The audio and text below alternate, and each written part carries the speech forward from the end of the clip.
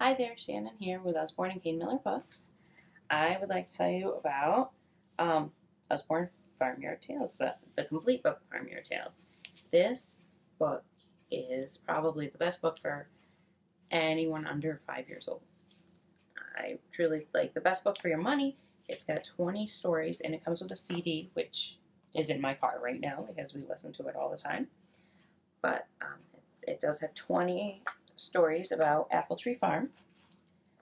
This is Apple Tree Farm. And um, it is one of our dual readers, which means it has a short sentence at the top and longer at the bottom.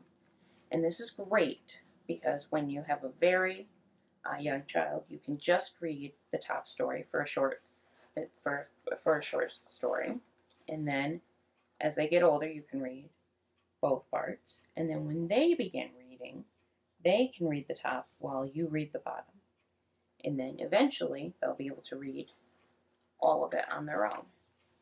And that's why it's called a dual reader. So this book really grows with them from a very young child, where you just read the top, to, you know, a, a child who reads on their own. And they're very fun, very cute stories.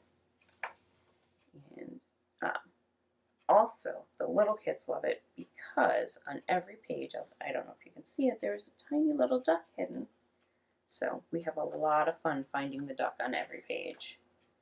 Um, there, up there. So, um, and like I said, 20 stories. There's a little bookmark. It's nice, sturdy, very, um, very high quality book, I'd say. I, definitely love it. My kids love it.